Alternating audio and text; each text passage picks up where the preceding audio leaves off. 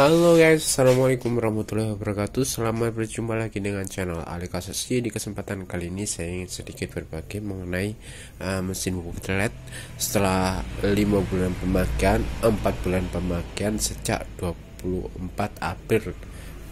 24 April dan sekarang udah di tanggal terakhir Agustus ya. Dan ini kondisinya seperti ini.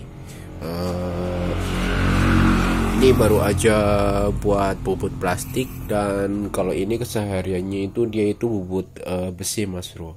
Bubut besi ya jadi besi-besi dibubut. Kalau kuningan-kuningan itu jarang dan aluminium juga jarang sering itu besi jadi buat bubut habis dilas terus bubut habis dilas bubut gitu mas bro.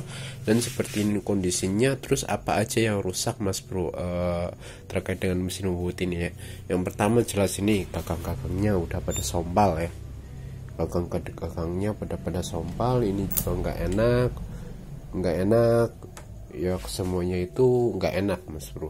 Masalahnya ini uh, mesin bubut buat bukan heavy duty bukan untuk beban berat akan tetapi untuk beban ringan.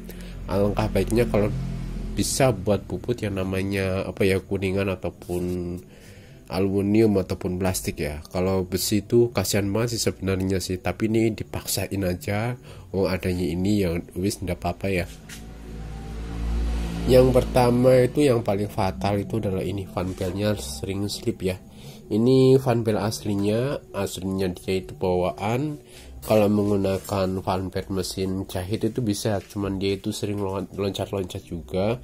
Ini juga sering selip giginya akhirnya agak sedikit gundul. Bawah juga agak sedikit gundul itu ke kelemahannya. E, karena ini buat sering buat apa namanya bubut besi ya beban berat.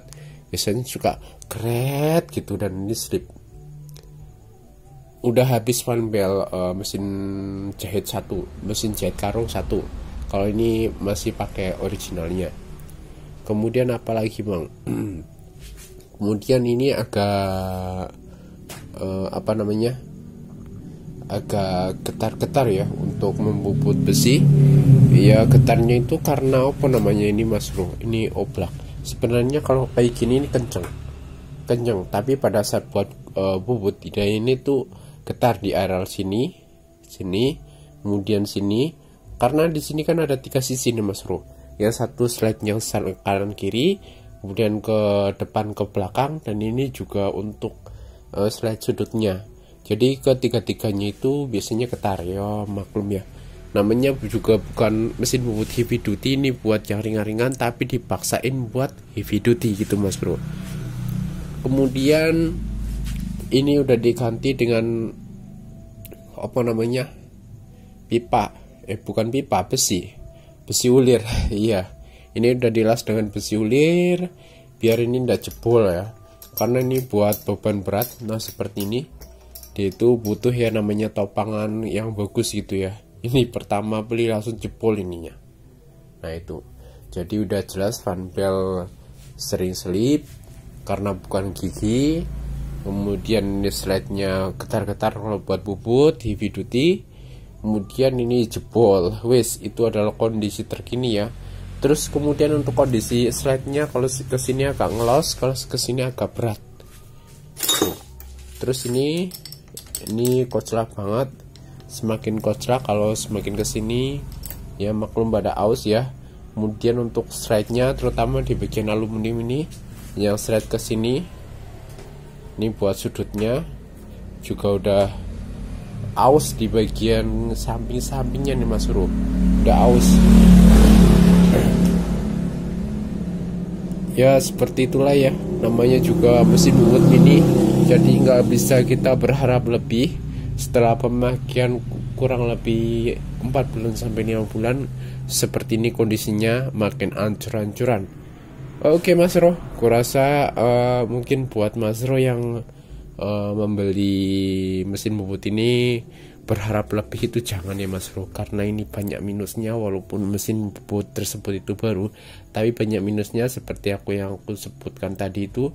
Lebih baik kalau semisal kalau Mas Ro pengen beli semisal kalau Mas Bro pengen beli puput yang semacam ini itu buat yang kerja ringan-ringan aja ya. Kalau yang mau heavy duty itu yang harganya second sekitar 20 sampai dengan 50 jutaan ya. Ya kalau buat asal puput aja mungkin puput kayu buat puput yang ringan-ringan bisa pakai yang ini. Tapi kalau heavy duty ya seperti itu tadi yang aku uh, ceritakan banyak minusnya ya. Untuk harganya sendiri berapa bang untuk harganya sendiri kalau baru itu semacam ini sekitar 7 jutaan sampai 8 jutaan ya. Kalau yang second mungkin lebih murah lagi ya. Tapi ngeri juga sih kalau beli second seperti yang aku sebutkan tadi banyak minusnya lah. Wong ini beli baru beri, beli baru aja banyak minusnya gitu mas bro. Oke ya wis kayak gitu aja mas bro untuk uh, kelemahan dari mesin bubut LED mini ini Thank you udah nyimak dan wassalamualaikum. Semoga videonya bermanfaat.